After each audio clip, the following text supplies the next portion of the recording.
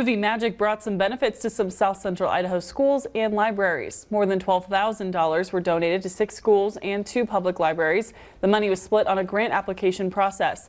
Those funds came from sales of a documentary called The Conquest of the Snake.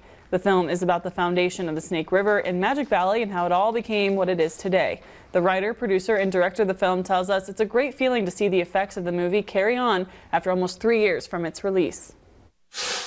I feel like this is still continuing to pass that on to the next generations as well to say, hey, this is a great area to live. This, we've got something really great here, and that and, and to tell the story so we can appreciate the past, but also see there's a lot of, a lot great coming up in the future. One of the things that Andrew said to me early on, and he said, I want to give back to the community, and I said, I'm in 100% if you're giving back to the community. So 100% of the net proceeds off the sales of these DVDs are going back in the community.